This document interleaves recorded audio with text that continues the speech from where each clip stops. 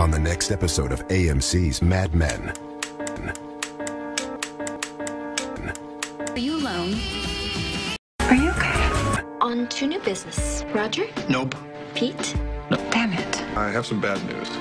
So, what is it? So that's some big news. Oh, hi. What are you doing here?